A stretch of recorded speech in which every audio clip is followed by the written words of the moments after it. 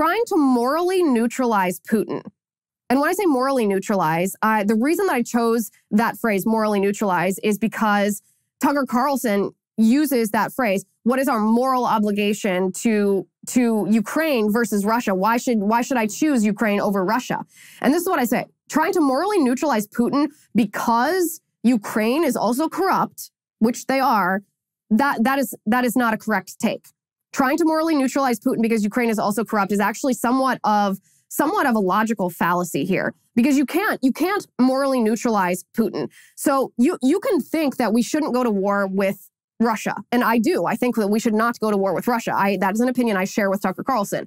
You can think that we shouldn't go to war with Russia while also understanding and acknowledging that Russia invading Ukraine or trying to take over Ukraine is a bad thing, that we don't want that, and that we actually have interests in preventing that from happening or even hoping that that doesn't happen, even using our just our our voices or our platforms in calling for that not to happen. We don't we don't have to completely morally neutralize Putin and what he's doing in order to convince people that we shouldn't go to war with Russia because re- remember the reality of Russia. Remember the reality of what Putin is, who Putin is. Putin is a former KGB agent. That is the intelligence service of the Soviet Union. He has not repudiated that role or the ideology that underpinned that role.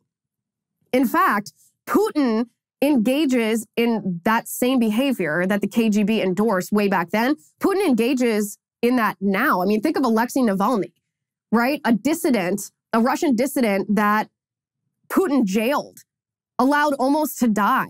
This is this is not an isolated incident. This is any time that there is a dissident or someone who opposes Putin, Putin goes after them.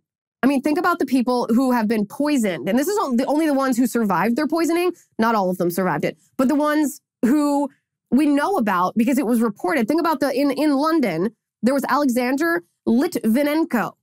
Remember him? A lot of people don't, but he was poisoned by Putin in London. Why? Because he criticized Putin.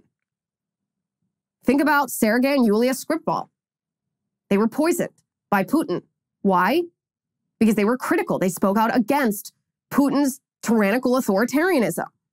There's a law under Putin right now in Russia that you can be imprisoned. You can be put in prison for years if you spread so called misinformation. Misinformation, of course, being vaguely defined to the point that anything that you say that is opposed to what Putin is saying counts as misinformation. In COVID, during COVID, they required, Putin required an app that required individuals to send a selfie from where they were immediately upon request from the app to verify that they had not left their apartment. And this is something that barely got any press. Maybe maybe you didn't even hear about this. Because this is normalcy under Vladimir Putin. It might be something that you and I here in the United States would be like, "Whoa, huge invasion of privacy, major government overreach." Absolutely not. You don't have a right to tell me to do that. But in Russia, it got very little press because this is normal for Vladimir Putin.